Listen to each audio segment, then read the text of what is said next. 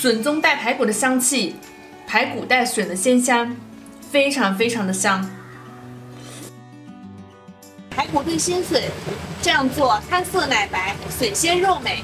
朋友们，你看这汤色浓白的。大家好，我是阿慧，欢迎收看我的频道。我们来看看怎么做的吧。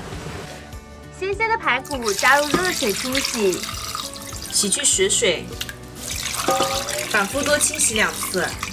洗净的排骨沥水备用，用厨房纸吸除排骨表面多余水分，装碗备用。平安笋去皮，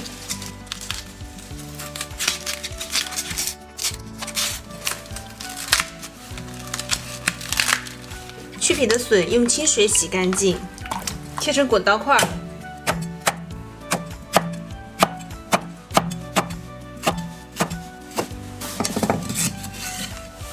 放在一盘备用，再切几片姜，装碗备用。开始烹饪，锅热之后加入食用油，油烧至冒烟后加入姜片，倒入排骨，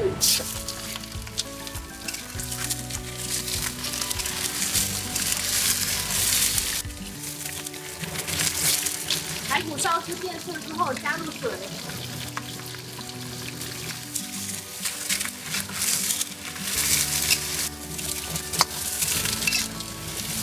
翻炒均匀之后，加入开水，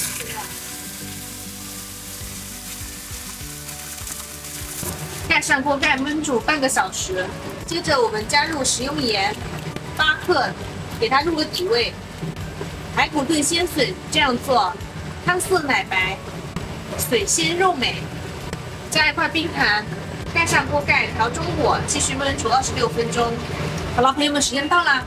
实在是太香了，朋友们，你看这汤色浓白的。最后根据自己的口味调整咸度，加入葱段就可以出锅了。美味的鲜笋排骨汤就完成了。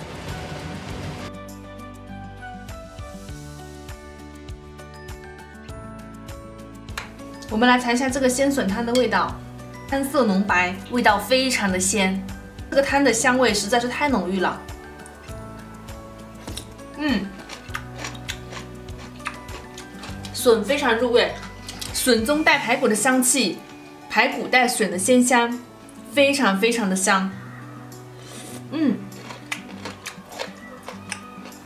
太好吃了，喜欢的朋友一定要试做看看。排骨也是非常非常的软烂。嗯，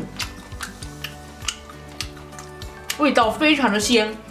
朋友们，阿慧每天都在用心的教做菜。如果我的视频对你有帮助的话，麻烦按赞、订阅、开启小铃铛。感谢你的观看，我们下期再见，拜拜。